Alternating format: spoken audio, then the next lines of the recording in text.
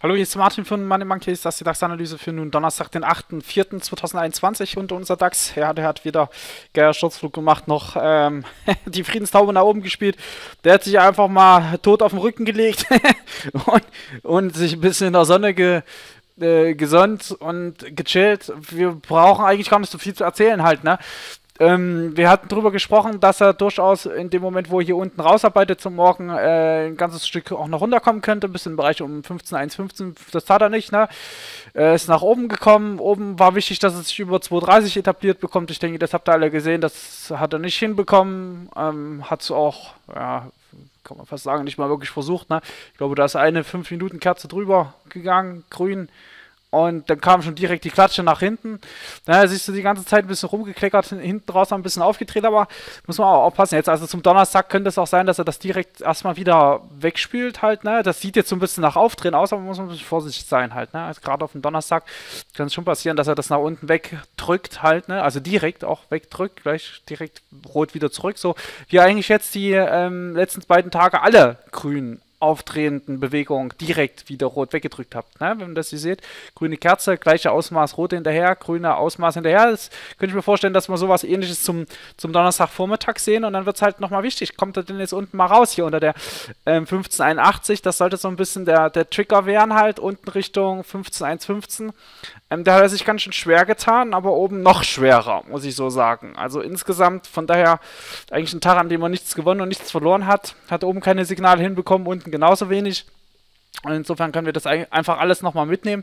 Ich würde sogar den, den, den, den, den noch gültig lassen. Ich würde das jetzt nicht als abgearbeitet ansehen. Ähm, sollte natürlich trotzdem jetzt vorzeitig hier 230 und so weiter überwinden. Dann macht sich nach oben den Raum auf halt. Na, ne? also so alles, was Stundenschlusskurs über 230 dann mit sich bringt, das gibt schon, schon nochmal ein bisschen Drive Richtung 250, 270, 290 und so weiter und so fort. Und dann stehe schnell auch wieder bei 320, 350. Ne? Das muss man ja einfach so sagen. Aber da oben, ich würde aufpassen. Ich, das kann nochmal genauso schnell hoch, runterkommen, wie er dann hochgekommen ist. Ähm, da würde ich schon ein bisschen aufpassen, dass man nicht zu vernarrt im Kopf ist. Also ich glaube, viele haben momentan so eine Sperre drin. Ich habe das heute bei uns im Chat so ein bisschen gesehen. Die Leute ähm, sind da ganz schön, ich weiß nicht, wie sie es formulieren, so, so ein bisschen wie steif gewesen halt, ne? So, ähm, so ein bisschen so eine Trotzhaltung, so nach dem Motto, ne, die letzten Tage, die letzten Wochen, das war ja immer alles so. Ähm, man muss sich ein bisschen lösen. Wir sehen jetzt hier andere Bewegungsverhalten einfach wie die letzten Tage. Ne? Wir sind jetzt der Markt runter, aber ein bisschen das in die Richtung, wie was wir hier gesehen haben. Das heißt, wir müssen natürlich auch ein anderes Bewegungsverhalten von ihm erwarten. Da jetzt davon auszugehen, dass da jetzt pff, alles grün und sofort alles wieder hochgezache und gekauft und das ist ja Wahnsinn, wie die noch kaufen. Ähm, wenn man so an den Tag rangeht, kann das natürlich sein, dass man aber schnell auf der Oberseite enttäuscht wird halt. Ne? Ähm, wir haben jetzt da oben ein Umkehrsignal bekommen, er hat die Zone erstmal angestoßen, kann ja auch noch zweites Mal anstoßen, so ist es nicht, aber ähm, er hat schon jetzt gewisse Risiken nach unten und wenn er die, die zum Tragen bringt, dann würde ich da nicht zu ungeduldig werden mit ihm, weil dann das kann er auch hinten rausbringen. Ne? Kann durchaus hier ein Stück, das, also das kann er, kann er auch auf zwei Tage noch runterstrecken. Das ist völlig egal, da gibt es kein, kein Gesetz, wie schnell das jetzt sein muss halt. Ne? So eine Bewegung, das macht er hinten raus dann. Das macht er hinten raus. Ähm, das wäre nicht, nicht das erste Mal auch. Von daher, ich, ich sehe hier das Risiko schon noch ein bisschen auf der Unterseite. Ähm, wir haben oben das, das Umkehrsignal gekriegt. Wir haben jetzt eine eher äh, Unsicherheitskerze reingestellt. Auf Tagesebene müsste es ein Doji geworden sein. Ähm, die nimmt natürlich schon dem Umkehrsignal oder zumindest diese, diese, diese roten Tageskerze hier ein bisschen den Druck raus. Ja, das tut sie, weil er hätte ja auch unten raus weiterfallen können. Aber er hat es auch nicht ausgekontert, die rote Kerze. Aha, ist eher unten stehen geblieben. Und von daher, also für mich neutrale Situation. Ähm, ich gebe ihm oben raus den Raum, aber für will ich auch ein bisschen Vorkasse sehen halt, ne, will ich sehen, dass die 15 230 umklappt nach oben. Wenn er das macht, gucke ich mir das sehr genau an, aber wenn der da oben wieder umdreht, den, ich würde, glaube ich, sogar einen Short auf die Nase drücken halt, ne, nochmal bis runter zu nehmen hier. Also das könnte ich mir gut vorstellen, wenn er umdreht halt, ne, das heißt, ich will rote Stundenkerzen und so weiter dann hier oben sehen. Kommen die dann schön, wenn er, wenn er wirklich lang durchstreckt, ähm, Doppeltop-Gefahr und sowas, das haben wir dann schon. Und dann kann er sich auch nochmal zügig runterstrecken. Da sollte man auf jeden Fall ein bisschen aufpassen jetzt am Donnerstag. Aber das ist wirklich nur, wenn er auch über die 230 geht. Und solange ich die nicht kriege und solange er die nicht bringt, dann bin ich hier sogar eher sogar der Meinung, der macht den nochmal nach unten und dann die kriegen wir die hier nochmal. so, und dann muss ich dort zeigen, ob er überhaupt hochkommt, weil kommen dort nämlich keine grünen Kerzen. Und da muss man dann aufpassen, dass man da nicht, na nicht, dass man hier die ganze Zeit Short gegen gewuchtet hat und plötzlich fängt man an, hier Longs gegen zu wuchten und dann haut die Kiste wieder komplett nach unten ab. Kommen hier keine grünen Kerzen. Hier, in dem Bereich. Dann lasst ihr ein bisschen Luft zum Atmen. Dann geht er in, das Dreieck rein, hier in das Alter. Ja? Dann hackt er hier rein. Und das ist dann schon eher so im Bereich um 15.30 bis 15.000 rum. Ja, wenn er sich hier nicht halten kann. Und von daher für mich aktuell tatsächlich eher das Risiko sogar ein bisschen auf der Unterseite. Ähm, ich kann mich super schnell auch ähm, ihm fügen und drehen halt, ne, in dem Moment, wo ich sehe, okay, der zeigt jetzt wieder Stärke, geht über 230 raus, drückt nicht direkt die grünen Kerzen wieder zurück. Ähm, gerne, dann auch weiter halt. Ne? Aber dann würde ich auch hier oben sehr, sehr, sehr, sehr, sehr sorgfältig drauf achten, wenn rote kommen und rote kommen, im Zweifel einfach mal kurz long raus und vielleicht sogar einen Short einfach rein halt, ne? Weil ich glaube es schon, also, das, das, das, was er hier jetzt weggestreckt hat, das ist. Das darf man nicht unterschätzen. Das ist ein Exhausting Gap halt. Ne? Das ist eine Erschöpfungssuche. Die, die kündigt Trendschwäche an, einfach. Ne? Es ist ein Aufwärtsgap, was nicht gehalten wurde. Das ist jetzt im Sinne des Aufwärtstrendes schon so ein Warnsignal einfach. Wenn da noch eine rote Tageskerze kommt, ne, ähm, dann kommt da ein bisschen Bestätigung rein, die Hammer, so, jetzt nimmt der Fahrt raus, aber wenn der jetzt anfängt weiter zu fallen, kann er auch erstmal ein Stückchen wieder fallen. Und da, da wirklich da ein bisschen Vorsicht, dass man da nicht ähm, jetzt plötzlich anfängt, übermotiviert auf der Long-Seite zu agieren, wenn man vielleicht die ganze Zeit eher auf der Short-Seite ähm, hochmotiviert war halt. Ne? Da muss man wirklich aufpassen, sonst, sonst handelt man gleich wieder gegen den nächsten Trend dagegen.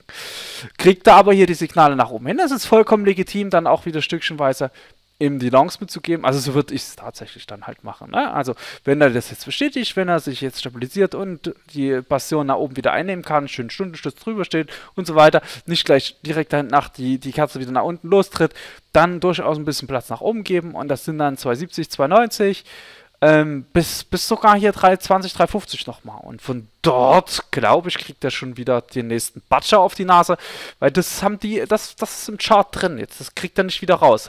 Das ist diese kleine Narbe und die zeigt, dass er hier schon mal einen Kampf verloren hat. Und ich könnte mir vorstellen, dass deswegen die, die ihn hier verprügelt haben, ihm hier auch ein paar ins Gesicht zwirbeln halt. Ne? Vielleicht mal auf die andere Backpfeife, äh, auf die andere, auf andere Gesichtshälfte.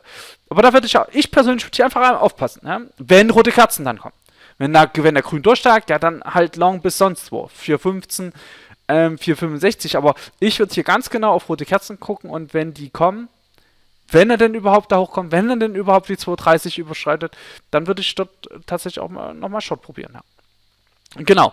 Und von daher gehen wir wieder so ran wie letztendlich jeden Tag auch und sollten versuchen, uns in eine Situation zu bringen, in der es uns völlig egal ist, was der Markt macht, ob das steigt oder fällt. Wichtig ist, dass wir an solchen Punkten einfach dann den Wahrscheinlichkeitsvorteil nutzen, den wir haben. Wenn wir dann hier oben sehen, dass eine rote Kerze kommt und ich mache den ganzen Tag nichts, aber ich beiße mir hier ein paar Punkte raus, dann habe ich wieder einen Tag, in dem ich Pro Punkte geholt habe, in dem Profit generiert habe, einen Tag, in dem ich nicht total angepisst vom Rechner sitze, weil der Markt sich in die falsche Richtung entwickelt, in der ich investiert bin, ne? sondern ich gewinne Stück für Stück für Stück. Und das ist halt für mich, ist das die Definition von Trading, dieses Raussuchen von Punkten, an denen der Markt einfach eine bestimmte, wie zum Beispiel auch das hier halt, ne? so an denen einfach eine bestimmte Reaktion zu erwarten ist und die einfach einen Wahrscheinlichkeitsvorteil mit sich bringt, den wir dann eben mit noch vernünftigen Risikomanagement dazu ausnutzen, Stück für Stück einfach uns hier ein bisschen auf der grünen Straße zu bewegen.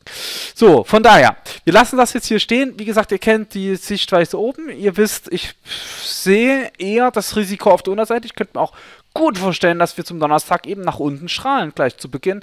Gar nicht so optimistisch hier reinkommen. Kommen wir aber trotzdem rein, Platz lassen, rote Umkehrsignale abwarten halt, ne? Und im Zweifel dann halt das Stückchen auch nochmal mit Long zu versuchen. Das ist vollkommen legitim. Ne? Und alles hier drunter kennen wir, haben wir jetzt besprochen, ist ja auch unverändert zu gestern. Wir können in den Tageschart reingucken, aber das ist klar, das ist ein Doji, ja, das kann nicht anders aussehen, die, die, die Kerze, genau. Wir gucken hier nochmal rein, wir haben rote Kerze bekommen hier aus einem Bereich, von dem wir eh eine Reaktion erwartet hatten. Und wenn er da jetzt unter das Tagestief vom Mittwoch drunter arbeitet, wird er auch nochmal einen Umkehrversuch bestätigen. Das heißt, dort könnten sich dann Anschlussverkäufe lösen, die dann einfach den DAX weiter runternehmen. Einfach ein paar Gewinnmitnahmen halt. Ne? Und von daher, ja, sieht das eigentlich jetzt so gar nicht so schlecht aus. Sieht wirklich danach aus, wie als könnten hier diejenigen, die den ein bisschen tiefer haben wollen, einfach noch ein bisschen was bekommen. Also für mich ist, spricht der Tag jetzt erstmal nicht dagegen. Na, ähm, solange die, der, die wichtigen Signalbereiche da in Ruhe lässt. Solange die jetzt so 30 auch nicht nach oben wegrotzt, ähm, sehe ich noch das Risiko. Das muss ich tatsächlich so sagen. Und ich glaube sogar, wenn er hier das nächste Mal nochmal dran stößt, dass er da ein kleines Déjà-vu bekommt. ja, Nee, das kann ich mir gut vorstellen. Also, insofern, ich mache hier das Video schon zu. Ähm, ich denke, wir haben alles besprochen. Ich wünsche euch viel Erfolg zum Donnerstag. Holt euch eure Punkte raus, macht den nackig und äh, versucht nicht immer im Markt drin zu sitzen. Das ist auch nicht unbedingt gut für die Psyche, für die, für die mentale Verfassung, ähm, für, das, für den Gemütszustand auch nicht. Ne? Man ist dann so abhängig. Ja? Wenn man Short ist, dann ist man glücklich, wenn der Markt fällt, ist schlecht gelaunt, wenn er steigt. Ist man Long, ist es genau andersrum. Und es ist manchmal einfach ganz gut, immer bloß so ein paar kleine Strecken rauszuholen. Da hat man, A, hat man mehr, viel mehr Gewinn am Ende. Das ist einfach so. Das ist auch wirklich so. Das ist wirklich so. Das kann sich der eine oder andere immer nicht so richtig vorstellen, aber das ist tatsächlich wirklich so. Ähm, weil, weil einem fehlt auch dieses Tage- und wochenlange Aussitzen von, von schieflaufenden Positionen. In der Zeit kann man dann trotzdem noch vernünftige Trades absetzen. Und das fehlt den Leuten meistens, die ähm, glauben, dass wenn sie lang, äh, lange, große Strecken probieren, dass sie da mehr von haben. Ja, gut, Freunde. Also, Punkt. Viel Erfolg zum Donnerstag. Macht's hübsch. Ciao.